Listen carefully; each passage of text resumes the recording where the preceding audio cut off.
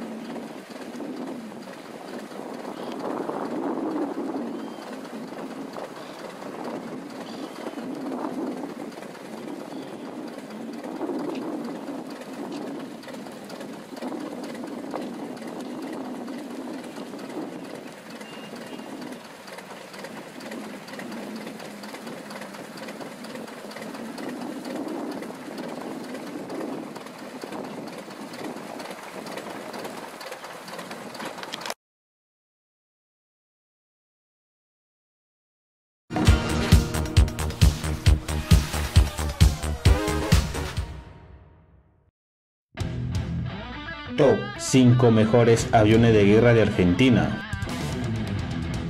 Hola, ¿qué tal? ¿Cómo están mis estimados suscriptores? En este nuevo video conoceremos a los 5 mejores aviones de combate con que cuenta la nación argentina para defender su espacio aéreo y resguardar sus fronteras.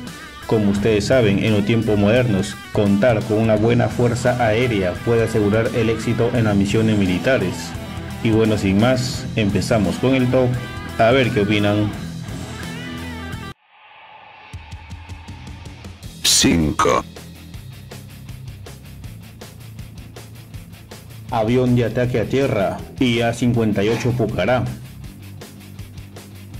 El IA-58 Pucará es un avión de ataque a tierra turbohélice construido en Argentina por la ex fábrica militar de aviones, actual fábrica argentina de aviones, en los años 1960 para combatir a la guerrilla. Combatió en la Guerra de Malvinas, siendo utilizado por la Fuerza Aérea Argentina para misiones de apoyo aéreo cercano a las fuerzas terrestres y ataque de campamentos y helicópteros británicos.